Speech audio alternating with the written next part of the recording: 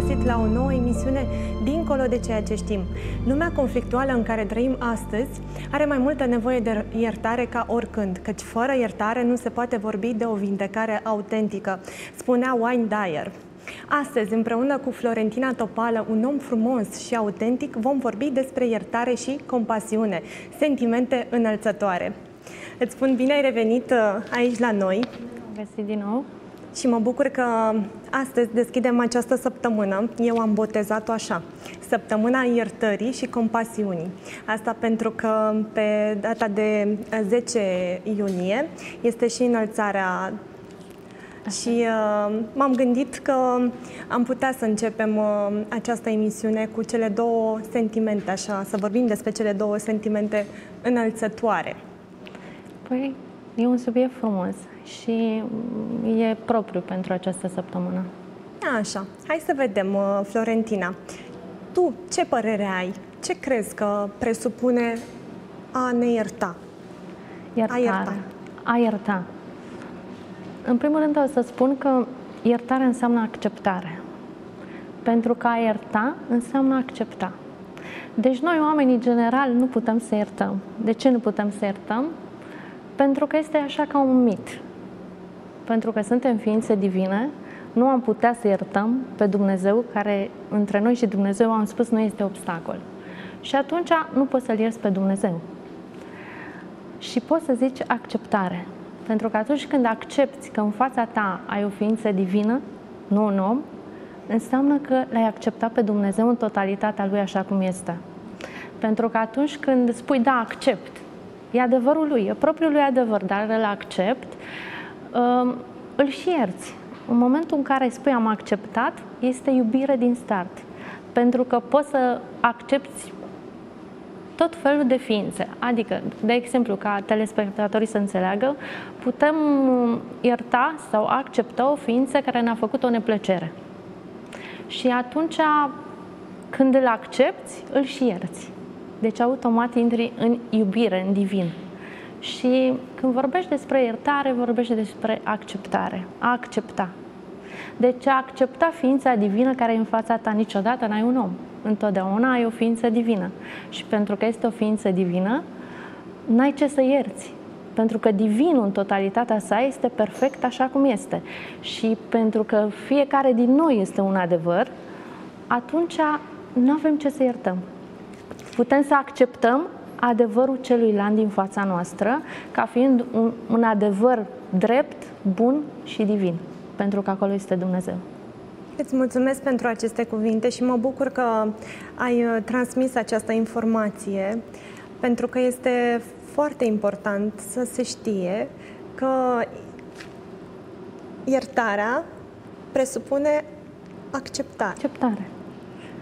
Și Pen- pentru că atunci când accepti, îl accepti pe persoana din față, omul din față, ființa din față, așa cum este ea. Adică nu are niciun defect. Atunci nu mai împarți. În momentul în care te accept, da, este adevărul tău. Și îl accept, accept totalitatea ta ca întreg. Și atunci iert. Și și iubesc. Pentru că acceptând, automat intri în iubire.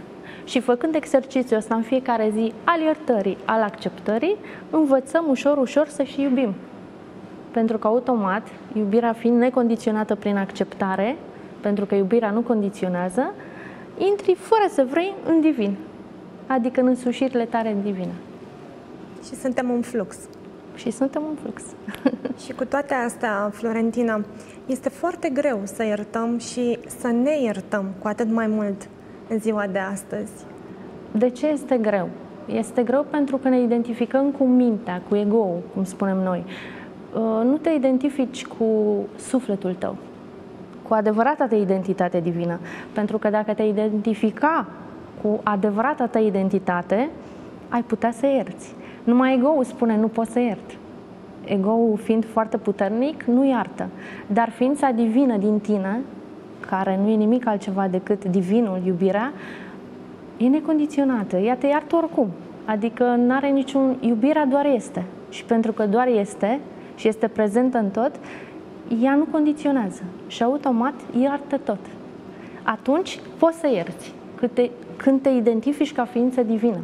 Dar în momentul în care ești în minte, ești în ego și da, dar mi-a făcut un rău, dar de ce mi l-a făcut? Păi eu nu i-am făcut așa.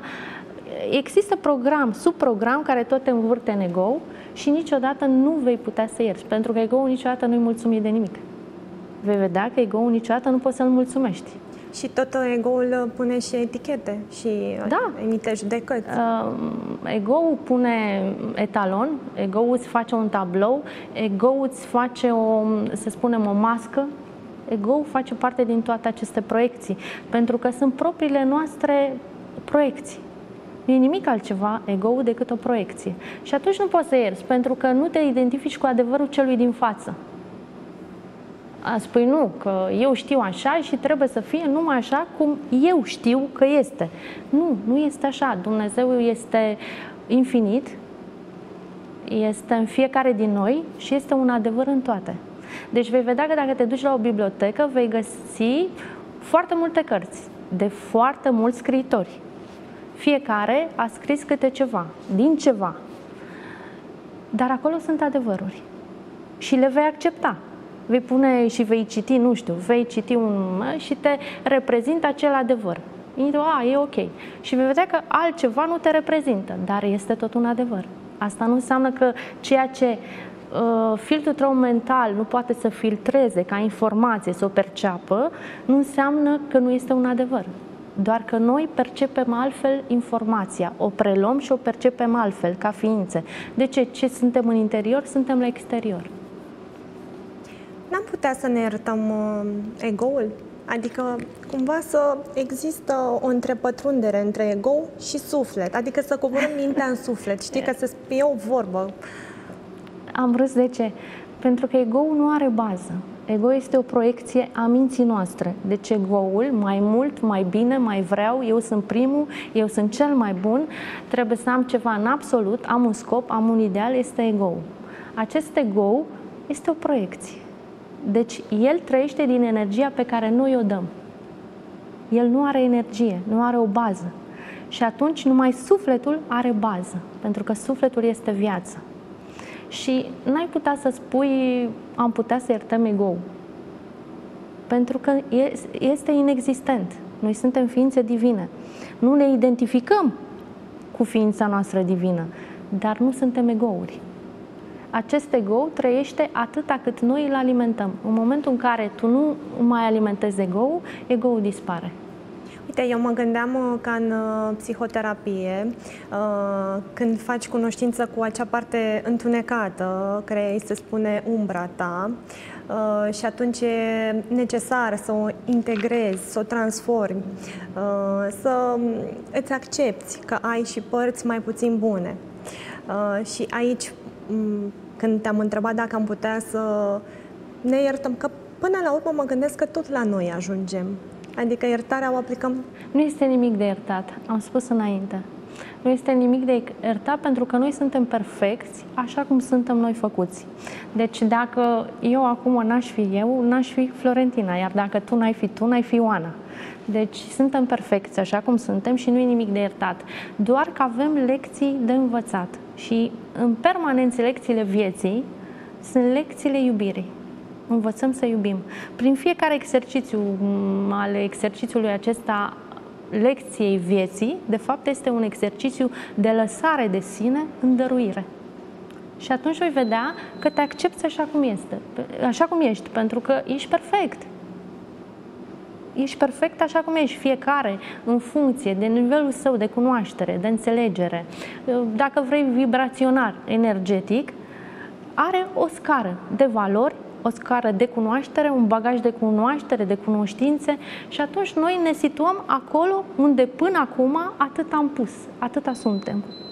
Și suntem perfecți așa cum suntem. Deci nu e nimic de iertat. Foarte e de acceptat. Uh, înțelept aș spune, și uh, mă bucur că, încă o dată, că ai transmis această informație. Uh, apropo de uh, citate, uite, eu uh, am scos aici un citat uh, din uh, cartea Iertarea, uh, și spune cam așa, eu cred din toată inima că această lume nu va cunoaște starea de pace decât atunci când fiecare om își va asuma responsabilitatea de a ierta pe toți ceilalți, inclusiv pe el însuși total.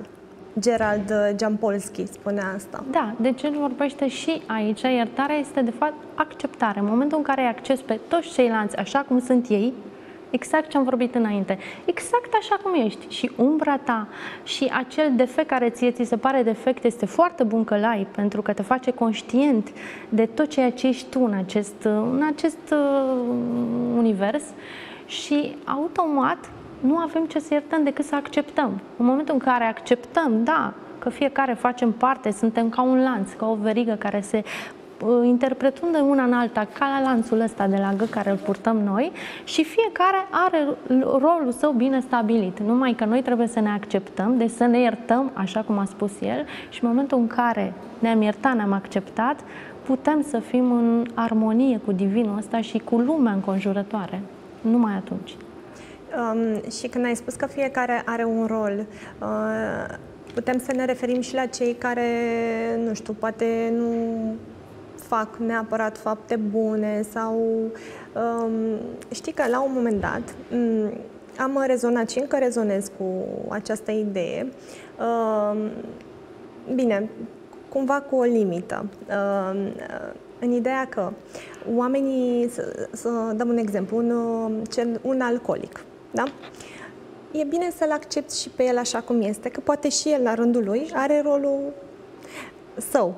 Doar că aici uh, sunt niște limite pe care nu le pun eu, poate, nu știu, uh, societatea sau um, e un pic, e, e mai greu de înțeles. E mai greu de spun. înțeles pentru că ele trebuie spuse în comportament. Uh-huh. Deci în momentul în care accepti, ca o mică paranteză la acceptare, trebuie pus în comportament.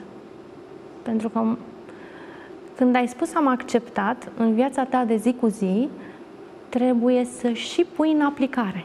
Deci nu numai să vorbim, știi, vorbim despre iubire, dar nu cunoaștem termenul de a iubi necondiționat cu adevărat. Așa este și cu acceptarea. Deci vorbim de acceptare, dar în practica noastră de zi cu zi ne ducem acasă și în familie avem diverse evenimente plăcute sau neplăcute și nu le acceptăm. Culmea, spunem am acceptat din gură, dar în practica noastră, în comportament, nu punem acest exercițiu. Ăsta e ca un exercițiu. Deci în în comportament trebuie să și punem acceptarea. Adică ceva ce în trecut nu am acceptat, vine ca un program din spate, că vine de mii de constelații ale vieților noastre din spate, acceptăm acest program. Da, mă duc acasă și mi s-a întâmplat ceva neplăcut. Nu știu, am o relație care nu e tocmai cum aș vrea, o accept pentru că este așa, pentru că eu trebuie să mă schimb pe mine ca să pot să schimb exteriorul. Numai când eu mă schimb pe mine în interior, pot să schimb exterior. Nimic din lumea asta nu se mișcă dacă noi nu ne schimbăm pe noi. Niciodată să nu încercăm să schimbăm pe altcineva. Vei vedea că nu vei reuși niciodată. Singurul mod de a pune în comportament este să te schimbi pe tine. Și încep cu acceptarea, dar pusă în comportament. În momentul în care o pui în comportament, uh, se deblochează programele din spate cu care venim de la părinții noștri, cu care venim de la bunicii noștri și le preia copiii noștri. Și spunem, vai, de ce are o soartă așa, că uite, eu m-am străduit și i-am dat de toate și da, dar la rădăcină nu i-ai pus iubire. Pentru că acolo a fost neacceptările din spate. De ce soțul bea? Vai, de ce bea? De ce mă înșală? Nu ai acceptat. E, el ți-a făcut și mai mult așa până când tu accepti te golești, cum se spune, știi umilința aceea, te golești de tot și accepti, pui în aplicare această acceptare. Deci punem în comportament acceptare. În momentul ăla, într-adevăr, suntem în acceptare și suntem în divin în iubire. Automat intrăm în divin în iubire.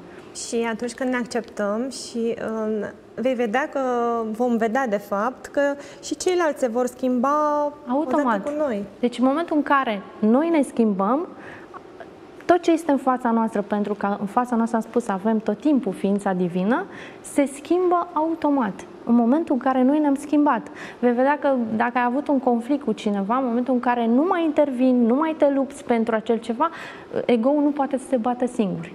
Adică nu poți să mă cer de unul singur. Și vei vedea că totul se schimbă în jurul tău, odată cu schimbarea ta. Dar până când noi nu punem acceptarea în comportament, nu putem să ajungi la această acceptare. Adică spunând numai din gură, da, accept.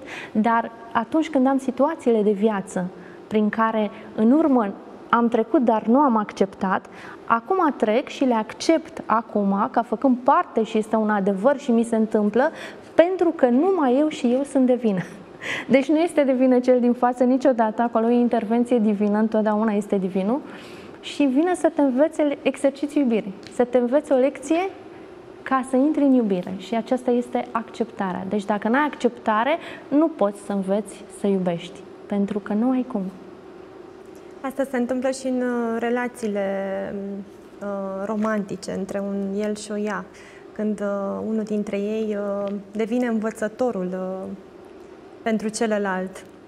Sau uh, când un părinte pentru un copil poate că este mai rău, cu ghilimelele de rigoare. Mai ferm. Mai ferm. Dar, de fapt, îl învață uh, lecția iubirii înspre a se întoarce copilul Acum depinde, că aici sunt uh, două chestii diferite. Uh, suntem fermi în anumite situații de viață unde este necesar și nu neapărat trebuie să fim fer cu copiii. De ce? Pentru că nu le punem iubire, le punem un fel de proiecție. Vezi, eu sunt fermă pentru că vreau ca tu, copilul meu, să ai o facultate bună, un job bun, dar este proiecția mea, este dorința mea și nu vine din acel copil. Deci acel copil niciodată nu va fi fericit și nici în traiectoria vieții sale. De ce? Pentru că nu a fost el în alegerea sa acolo. I s-a impus, i s-a impus de ce? Dintr-o proiecție a părintelui. Se spune că este iubire. Nu. Confundăm um, posesia, controlul. Noi vrem să controlăm. În momentul în care vrei să controlezi un copil, îi spui, vei da la facultatea de medicină, exemplu, ca exemplu, pentru că mie mi-a plăcut tot timpul să fiu medic și n-am reușit. Ceea ce eu n-am putut, proiectez asupra copilului meu și automat îi fac o traiectorie pe care eu am proiectat-o, deci egoul meu, pentru că a mea era, era egoul meu acolo și nu i-am dat voie lui să fie el, adică el ca suflet acolo în, ce, în ceea ce vroia el să fie. Și automat toate astea se întorc la un moment dat, chiar împotriva noastră, pentru că nu se numește iubire, se numește control, se numește atașament. Iubirea este detașarea Egoul este atașamentul, atașamentul de viață, de bunuri, de materie, de plăceri, de tot ce înseamnă viață din lumea aceasta de materie. Uh, în schimb, iubirea este detașare. În momentul în care ești detașat de viață, vei vedea că iei altfel lucrurile, mai cu ușurință, cu, mult, cu multă ușurință. Pentru că îți dai seama că vezi, oricum se întâmplă și va fi până la urmă așa cum E, trebuie să fie. Trebuie să fie. Și nu cum proiectez eu. Deci aceasta nu este iubire, este un atașament. Confundăm atașamentul cu iubirea. Nu, iubirea nu condiționează. Iubirea niciodată nu condiționează, nu cere nimic, nu vrea nimic. Acesta este sufletul. Acesta este esența sufletului. Și pentru că tot am ajuns la iubire, pentru că toate drumurile duc către duc la Roma. exact. Um, Florentina, ai spus de iubirea necondiționată. Haideți să vedem ce presupune chiar dacă uh, repetăm anumite informații, cred da. că e bine să se așeze în fiecare dintre telespectatorii noștri această informație, că este de neprețuit. Vom vorbi de iubire necondiționată, dar vom vorbi de suflet.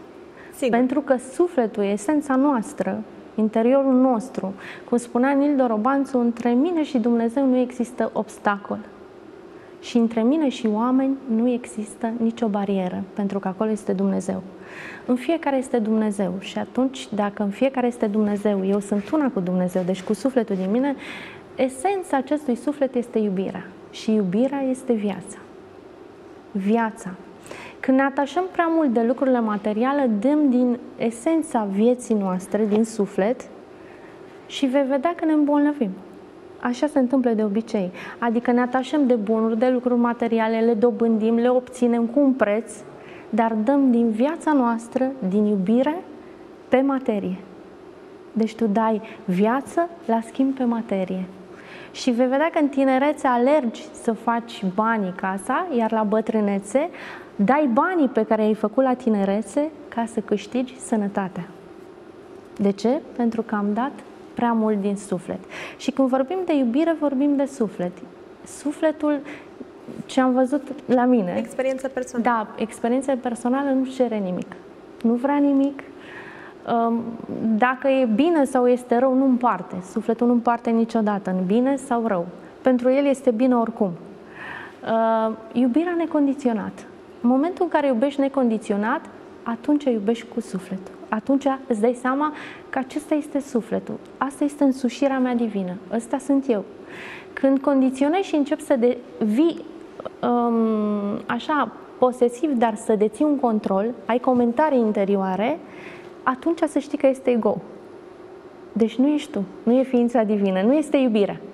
Pentru că iubirea nu condiționează niciodată. Iubirea nu cere, nu condiționează, este plină. Sufletul este plin, trece prin orice, este viața însăși. Pe când ego-ul care are nevoie de energie, trebuie să trăiască din ceva, îi trebuie mereu ceva și automat va condiționa. E, te iubesc, dar dacă mă vei supăra, să știi că, uite, s-a terminat această iubire. Atunci nu este iubire. Acolo este decât egoul și nu sufletul. Iubirea adevărată este necondiționată. Am înțeles. Ce frumos spui, măi, Florentina! Foarte frumos. Mulțumesc frumos, uh, mulțumesc frumos. Grăiești așa, precum o, o zeiță. Uh, așa să fim în comportament. Deci așa cum vorbim, să fim și în comportament. Pentru că dacă nu pui în comportament Degeaba. Aceste însușiri, ca, vezi, aceste acceptarea, iubirea, sunt virtuți. La final sunt virtuți pe care noi ne naștem cu ele, dar um, nu ne dăm seama. Suntem prea prinși în viața asta și nu ne dăm seama că le avem și vrem să le dobândim. Nu, erau ale noastre din totdeauna, nu ni le luase nimeni, nu avem nimic de dobândit. Dar noi tot alergăm să facem ceva, să fim mai nu știu cum, să fim speciali. Nu este nevoie să fii special. Este nevoie doar să fii, să fii acolo în dăruire. Atunci când dăruim, înseamnă că iubim. Orice faci, acest job pe care tu îl faci, dar îl faci cu dăruire, înseamnă iubire.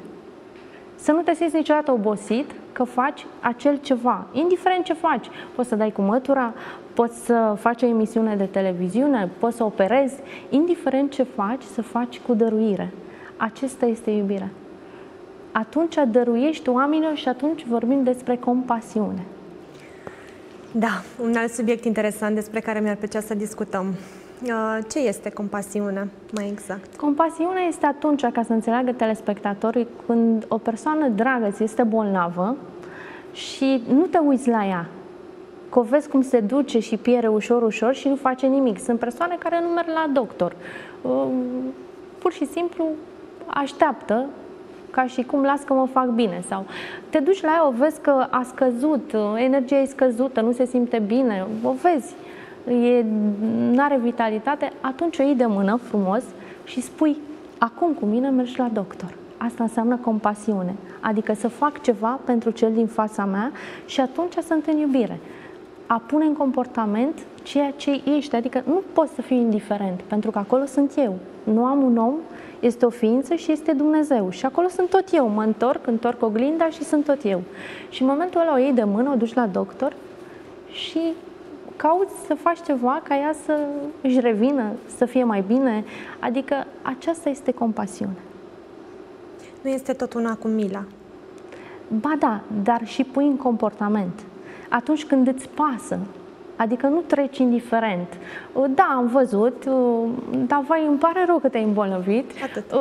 dar nu pot să fac nimic, uite, mă grăbesc, am pale mele, vezi și tu, poate te ajută cineva, atunci nu ai compasiune atunci nu este iubire, nu este compasiune. Dar în momentul în care îți pasă și le iei de mână și spui, nu, acum cu mine mergi la doctor, să vedem ce ai, să văd dacă te faci bine, în momentul ăla este compasiune. Când găsim o soluție împreună spre binele persoanei în cauză. Îți faci ție un bine. Întotdeauna când faci celui din față un bine, îți faci ție. Niciodată nu faci bine celui din față decât ție. Foarte frumos. Um, aș uh, reveni, m-aș întoarce la, la iertare, uh, pentru că e foarte important uh, să ajungem să ne iertăm, ca și la compasiune. Bine, eu am compasiune față de tine, dar când vine vorba de noi înșine, când, uh, nu știu, alegem o situație în care suntem uh, Vezi, acum... În, defa- în defavoare, știi? Adică când ne facem rău cu mâna noastră, ca să Am să spun ceva expresie. și o să spui, da, eu știu dacă e așa, dar îți spun ceva tot Sigur. din experiență. Pe suflet nu prea îl interesează că e alb sau că e negru. Uh, general, când ești în iubire, pe primul loc pui pe cel din fața ta, întotdeauna. De ce? Pentru că acolo ești totul. Când se spune îi dai întietate celui din față și îl ierți prima dată pe el, automat iertarea, acceptarea, te accept și pe tine. Acceptându-te pe tine, mi-accept și mie ceea ce n-am acceptat în spate. Deci, automat, se face ca un click și acceptarea e și pentru mine și pentru tine. Deci, iertarea este și pentru mine și pentru tine. Când spui te iert și ierți, am spus, punem în comportament această iertare, acceptare, atunci iertăm și iertăm nu numai pe cel din față, ne iertăm și ce ne-am acceptat în trecut. Pentru că ai văzut că sunt situații în care nu iertăm o bucată bună de timp, mergem, da, și nu ne iertăm nici pe noi, așa cum exact. ai spui tu. Și cu toate acestea și... fac o paranteză, îmi cer scuze că te-am întrerupt. Noi afirmăm cu tărie că da, te-am iertat, cum să nu? Și de unde? Dar vine o vreme, vezi un om și îl vezi că este constrâns de o situație sau același om care n-ai putut să-l ierți și zici, ai măi, că nu e chiar așa de... Poate e și vina mea. Lasă să-l ierți și lasă că-l ajut. În momentul ăla l-ai acceptat și ți-ai acceptat și ție ce nu acceptai în spate. Și te-ai deblocat pe tine, ți-ai deblocat ție, că tu te blochezi în momentul în care nu accepti ceva, nu ierți ceva, îți blochezi niște programe și automat blochezi mersul tău spre înainte și nici nu-ți dai seama. Dar iertând, acceptând, îl ierți pe cel din față și pui în aplicare, am spus, pui în aplicare și îl ajuți și te ierți și pe tine și te accepti, pentru că tu, același om, aceeași ființă, nu acceptai în trecut. Sub o altă formă sau... Și atunci ai acceptat-o și iertat-o. Numai în momentul ăla este iertarea. Iar când ne iertăm pe noi, e așa ca și cum... Ce găsești sufletului vină?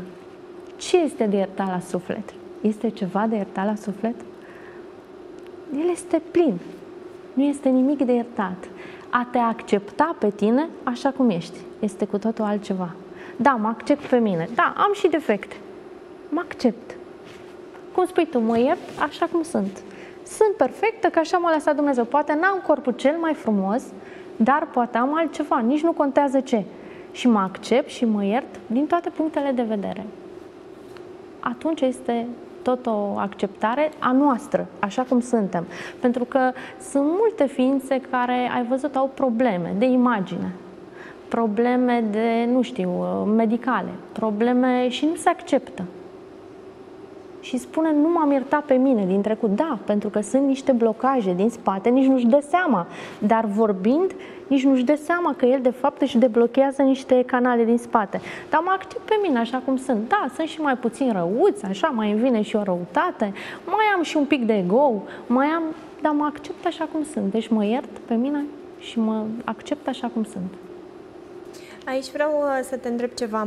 Putem uh, să pierdem uh, bucăți din suflet se mai spune că atunci când, nu știu, ești într-o relație nepotrivită sau într-o situație dintr-un trecutul tău pe care n-ai reușit să o ierți, că ai pierdut din suflet, din energia sufletului. Se poate pierde într-adevăr din energia Se poate pierde energie? din iubire, da. De ce? Pentru că dai pe viață, am mai spus, pe atașament. Poți să ai atașament și de o ființă dragă. Nu neapărat de o casă, de o mașină, de un job, poate și jobul să fie un ideal, un scop pentru tine, că ai un, nu știu, un salariu mai bun, o poziție mai bună socială.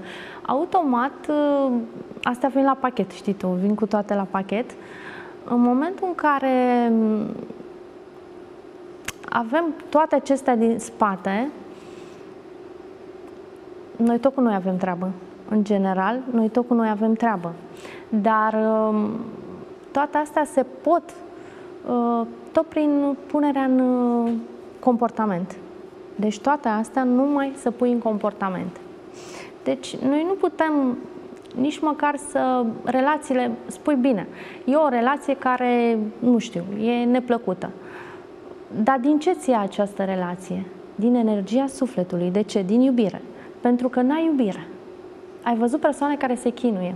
Vine bărbatul acasă și toată ziua, tucu, tucu, tucu, tucu, tucu, tucu, stă cu gura pe el. Are un interior, chiar dacă tace, are un comentariu interior. E, sufletul meu, pentru că este divinul acolo, este Dumnezeu, identifică comentariul tău interior. Și atunci vom intra într-un conflict. Să zici, da, bine, dar nu i-am spus nimic. Nu... Și totuși am intrat într-un conflict. De ce? Pentru că sufletul identifică comentariul tău. Și toată viața facem asta și ne răcăim unul pe altul. Dar sunt bune la un moment dat pentru că învățăm să iubim. Da. Așa cum avem grijă de un câine acasă, învățăm să-i dăm de mâncare, avem grijă de un copil mic, ai văzut, îl spălăm și pe câine, luăm afară, de fapt ne plimbă el pe noi și nu noi pe câine. Și uh, învățăm să iubim câinele, animalul, învățăm să iubim copilul, învățăm să iubim soțul. Astea sunt lecții de viață, exerciții iubirii mereu așa îl numesc, care te învață ce? Să iubim. Ne învață să iubim. Asta face. Și automat, da, poți să pierzi din uh, energia sufletului, dar tot prin atașament. Pentru că iubirea e detașarea. Am spus că iubirea este necondiționată. În momentul în care iubești într-o relație, îl iubești pur și simplu așa cum este. Nu să-i pui nicio condiție niciodată pentru că îl iubești, că l-ai luat, l-ai iubit așa cum era, ți-a plăcut.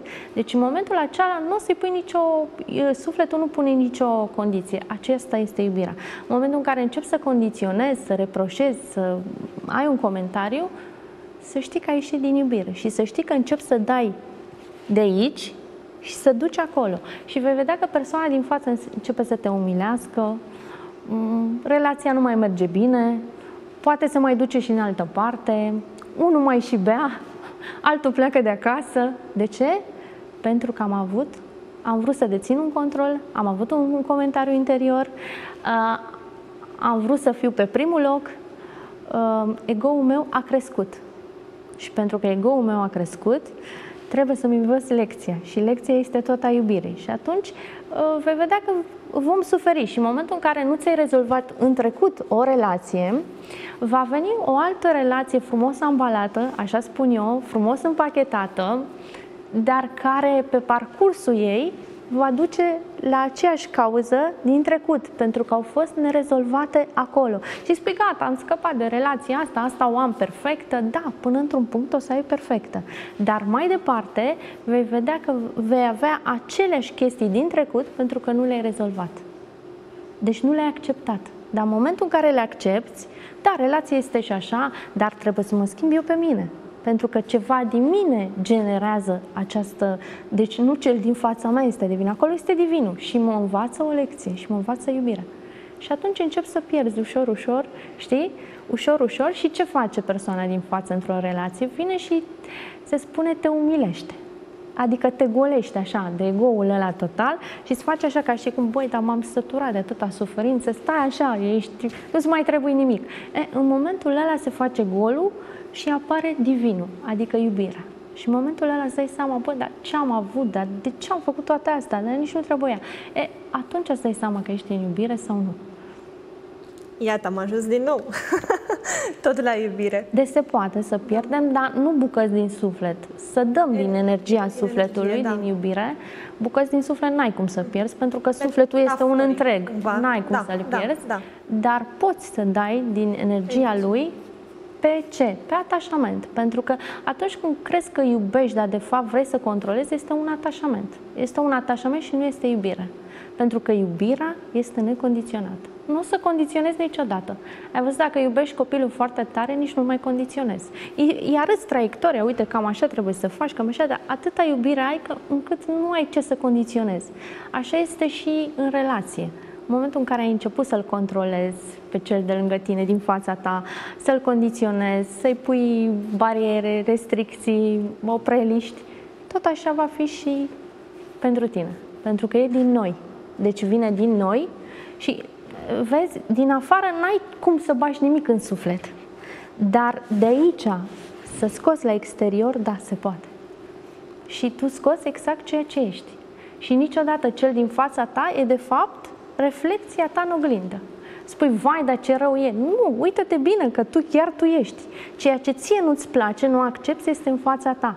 Nu accepti un bărbat care bea, e, vei găsi în viață tocmai din ăștia care mai și bea. Uh, nu-ți place o femeie care nu știu ce face, vei găsi o femeie care exact asta face, tocmai că n-ai acceptat genul ăsta de persoane. A venit ambalat frumos, dar în ambalajul acela era pus la pachet și ce nu acceptai tu. Deci neacceptarea noastră. Um, ca să ne reîntrăgim această energie, că tot vorbeam despre energia sufletului, este necesar doar să practicăm iubirea și să o punem în Pus comportament, în comportament. așa cum ai zis și tu. Pus în comportament. Pentru că atunci când o pui în comportament, vei vedea că nu mai ai conflict. Uh-huh. Nici nu ai cu cine să te cerți. Pentru că nu mai intervin, nu ai de ce. Îți dai seama, mă, dar așa este, atâta înțelege, e perfect, atâta înțelege, așa trebuie să fie.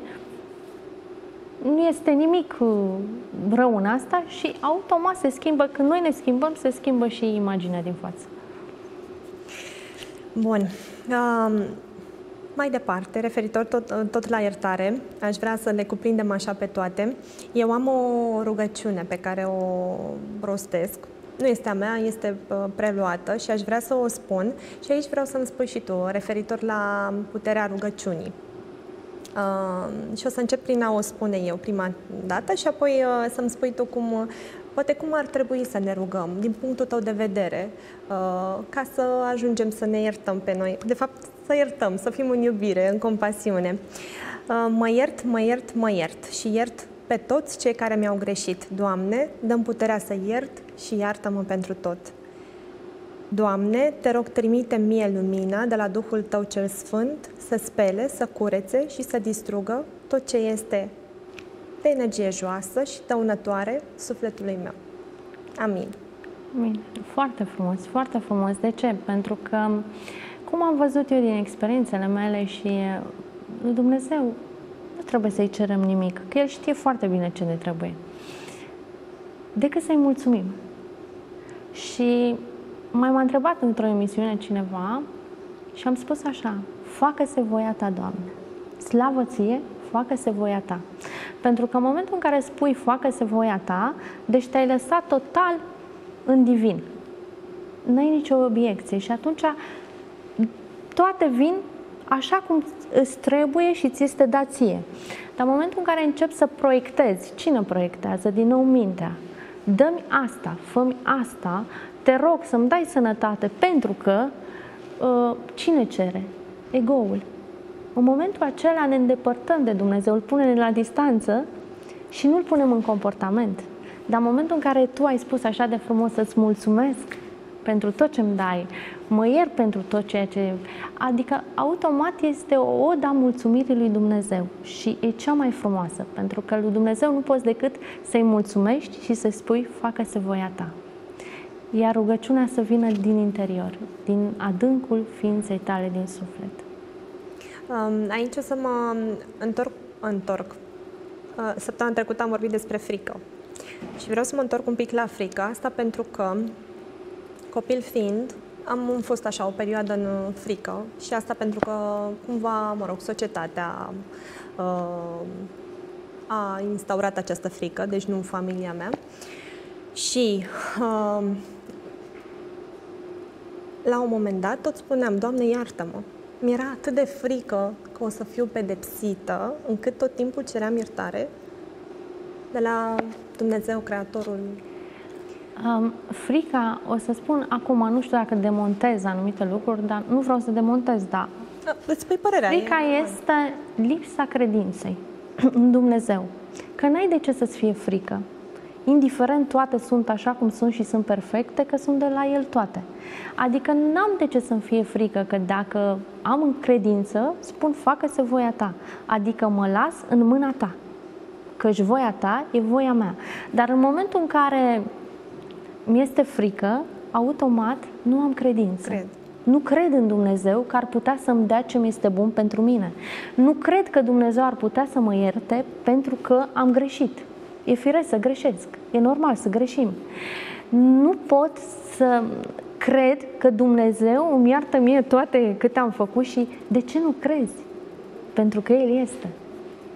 Adică e lipsă de credință. Dar în momentul în care ai credință, nu-ți mai este nici frică, pentru că știi că acolo este Dumnezeu și astăzi n-am ziua cea mai bună, nu sunt în cea mai bună formă, dar mâine voi fi și Dumnezeu are grijă de mine, ăsta este pozitivul, știi, din toate. Și Dumnezeu are grijă și facă-se voia Lui, că voia Lui e și voia mea. Atunci ai credință, cu adevărat ai credință. Așa este, Florentina, dar știi că mulți uh, dintre noi ne este, multora dintre noi ne este teamă de da Așa este. Și este... Dar eu explic telespectatorilor mă bucur că faci asta, uh, ca fiecare să-și lămurească acolo cât fiecare cum înțelegem exact. și exact. ce putem noi să luăm din această informație, uh, pentru că acolo este numai vorba de credință. Și toată această teamă, teroare pe care poate societatea, poate cei din jur, factorii noștri din jur ne-a, ne-a creat-o, Uh, vine mai de mult, vine din spate de undeva, pentru că nimeni nu ne-a învățat că, vezi, credința asta e, să crezi că, lasă, mâine va fi o zi mai bună. Și e la îndemână, este aici în noi. Așa este. Asta pentru că tot timpul spunem, Doamne, iartă-mă, Doamne, iartă-mă. Și, și până cum ai spus și tu, Dumnezeu nu are de ce Dumnezeu este decât iubire. Nu este nimic de iertat, că este decât iubire și El te iartă oricum important noi cu noi cum suntem, adică noi, interiorul nostru, dacă noi suntem în pace, în liniște, în armonie și exteriorul este la fel, pentru că noi oglindim ceea ce suntem pe interior. Dacă noi suntem în haos, suntem în frică, în teamă, în teroare, trăim o viață, păi ne-am creat un infern. De aia se spune că raiul și infernul este aici pe pământ. Deci ți le crezi de aici. În momentul în care ești în armonie cu toate, totul e armonios și deja ești ca într-un rai, ai văzut, nu ai multe pe cap sau vin mai ușor, te treci mai ușor, chiar dacă sunt, ele vin și trec mai ușor. În momentul în care ți-e frică, ți-e teamă, îți faci o grămadă de gânduri, de vai, cum o să fie, cum... vei vedea că vei sta numai în teroarea asta și îți faci o suferință. Și viața devine o suferință și spune, aoleu, dar ce viață am? Dar viața nu ți-a făcut nimica Schimbă-te tu și se schimbă și viața din jur. Ce frumos ai spus! Aș fi vrut să te întreb ceva, dar te întreb degeaba. în ideea în care se poate iubire fără iertare, răspunsul este nu. E ca și cum spui, fără acceptare se poate să iubești? Păi dacă nu accept nimic și nu iert nimic, pot eu să iubești ceva? Nu se poate. Deci ține una de alta. Uite, um, mai este această expresie, îmi dau sufletul, că tot vorbim despre suflet. Uh, este corect să spui îmi dau sufletul pentru X, Y, Z? Nu poți să dai nimica. Pentru că nu e nimic al tău ca să dai ceva. Adică sufletul de cât este. Este ca și o floare, am mai spus, care te uiți la ea, o privești și spui este o floare. Ea nu este nici frumoasă, nici parfumată, ea doar este, pentru că acolo este tot divinul. Așa este și sufletul. Sufletul doar este și este iubire. Cum ai putea să, să faci ceva sufletului ăsta? Sau să... El este și este viața însăși. Deci este plin, este întreg. El nu are niciun lips. Ce ai putea să-i... să-i nu poți să faci nimic. Uh, mă gândeam acum că um, există și acea teamă de a nu greși. E firesc. Uh, de a uh, tot mergem înspre tendința de a fi perfecți. Nu ne dăm voie să greșim. Acum să spun ceva, Oana. Cine spune să fie perfectă decât ego-ul, mintea? Pentru că Perfect este Dumnezeu în totalitatea sa. Noi am venit aici să și greșim ca să învățăm să iubim. Noi am venit aici să fim așa cum ne-a lăsat Dumnezeu, pentru că suntem perfecți oricum, că noi suntem particula sa. Adică nu, nu e ceva care nu este perfect. Decât atunci când mintea începe să împartă și să despartă, să ia firul, să-l despice în toate părțile, o, oh, păi e fel și fel de chestii de nu mai ieși din el. Dar când îți dai seama că totul este perfect așa cum este și toate curg, dacă ai văzut ca o apă care curge din munte, așa curge și iubirea prin noi, așa este și viața noastră, este o curgere. Și dacă o lasă curgă, ea este minunată, este, o, să, o să avem o viață frumoasă, dar în momentul în care noi tot îi creăm blocaje și punem bariere, oricum apa trece și pe lângă piatră, ai văzut, și pe, își face loc, da, vom avea o viață, dar mai cu urcușuri și coborușuri, pentru că noi ni le creăm. Noi suntem ceea ce creăm. Suntem creatori, suntem ființe divine și ceea ce noi suntem pe interior, asta creăm, la exterior. Deci asta este viața noastră. Vom avea o viață fericită dacă noi pe interior suntem mulțumiți cu noi. Vom fi fericiți dacă noi suntem pe interior, nu căuta iubirea, nu căuta fericirea în afară, nu căuta pe Dumnezeu în afară, că El este înăuntru tău. Deci chiar acolo se găsește.